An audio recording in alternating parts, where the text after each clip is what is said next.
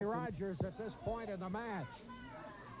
Well, this is a perfect example about what I was talking about. Goldie's going to take the pace in this match.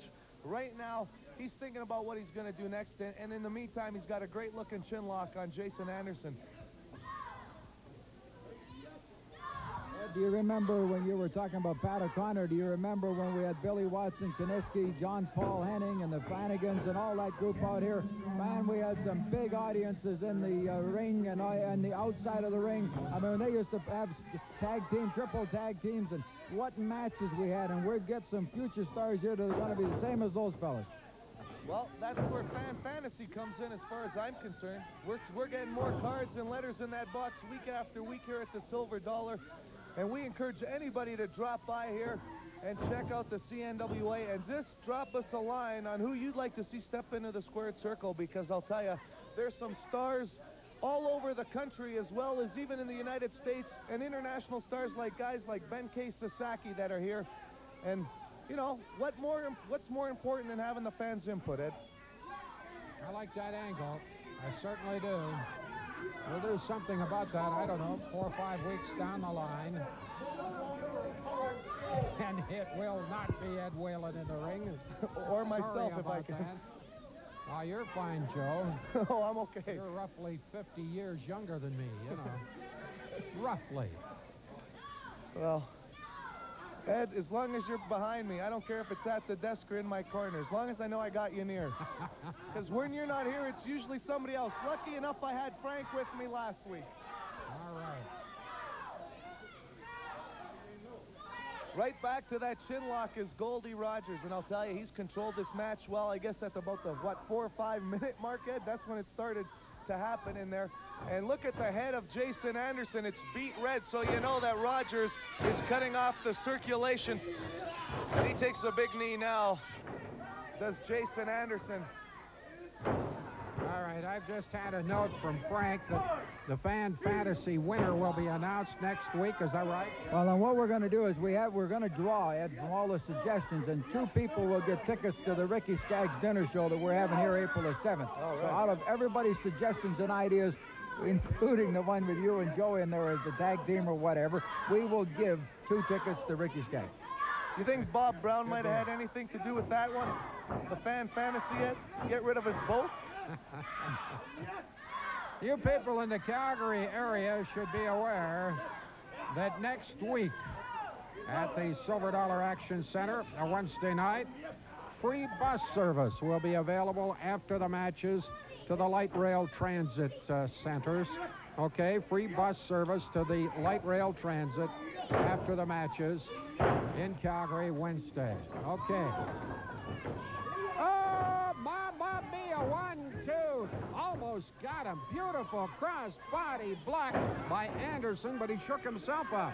Well, he did on that one, and it's going to take a little bit more than that, I think. Uh, sure, it surprised a guy like Goldie Rogers, but too much experience there to get a three count.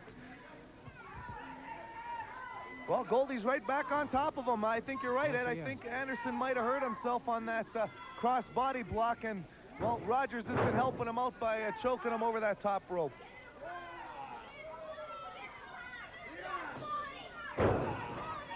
Cover one, two, that's all.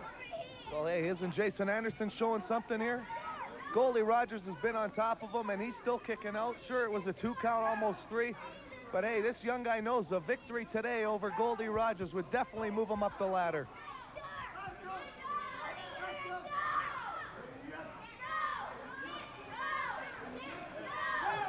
I love it to hear Goldie hollering yes, yes, yes, and the fans hollering no, no, no, and Anderson is right with them. So the fans and Anderson right at the moment are winning. Let's see what happens with that, with Anderson over Rogers here in a moment or two. Well, right now he's the arm drops twice. He holds it up there. Well, how many counted out? How many guys, you know, like you were calling Ron Ritchie the people's champion, Ed. You know, guys like Ron Ritchie will be able to tell you, Jason Anderson, the same thing. That adrenaline definitely gets pumping when you got the crowd behind you. You know, a lot of times you've seen a guy down and out like Jason Anderson there. I thought Goldie might have worn him down enough for a three count, and he started getting that arm going, the blood flowing again, and he had turned things around for a few seconds there. But Rogers, like a cat, he's on top of him again. Jason is going to school right now. It's kind of a tough lesson, I think. While Goldie Rogers with a pin like that, and he's been around the game long enough to know you got to hook that leg if you want to really wrap him up.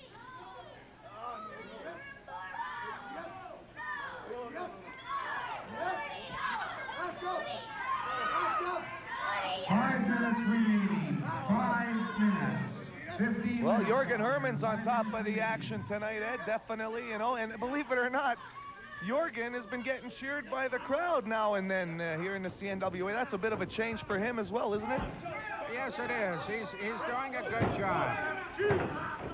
Last week, a little bit of controversy when he called the match that Ron Ritchie was uh, bleeding profusely from the forehead. He said that Ritchie couldn't continue on. Meanwhile, Ritchie had knocked out the Angel of Death. A lot of controversy in that one. And that's a question that I guess a lot of people are going to be talking about, whether or not the Angel of Death. I mean, we hope that there's nothing really wrong with a family uh, member of anybody's family, even the Angel of Death. And if he says he's going to be here next week, hey, you know, I'm going to give them uh, the benefit of the doubt because that's one match I definitely won't want to miss, Ritchie and the Angel. I hope you're right. I hope he's here. I'm with you. I kind of think he'll be back. Anyway, I also believe in the Tooth Fairy. There you go. Beautiful clothesline. Oh, yes. The old guy's playing it tough, isn't he? And a two, and uh, that's all. Definitely think uh, Goldie's ego's getting in the way here. He's not hooking that leg. He might have had this match won a while ago, but I don't. Oh, here we go. Duck under. And Clothesline. Anderson. I don't know where he got the uh, the steam to even uh, perform a clothesline of his own there, Ed. Just kind of a burst of energy in a desperate situation. He realizes he's in trouble. He finds the energy to throw a drop kick, but he seems to be hurting himself every time he does these things. I think both of them are hurting a little bit here, and yet they're putting on a good show for us. They've got a good match all the way through. We're into the 15-minute mark, and look at the action we've got, and that's what we've been telling everybody is going to happen out here each and every Wednesday night at the Silver Dollar. Watch it now. He's going to pull him over with a suplex. Three minutes remaining. One. Three minutes. Two. At the 17-minute mark, 20-minute time limit. Body slam there. He's going up top, Ed. He's going to get up there. Oh, no. Oh, no. He hesitated too long. It allows the man on the mat to make a decision unless he's out cold, and Goldie was not. You're absolutely right. Rookie mistake. There's the neck breaker. This one might be all over, Ed. Cover one, two. It is, it is, it is. And Goldie Rogers adds to his string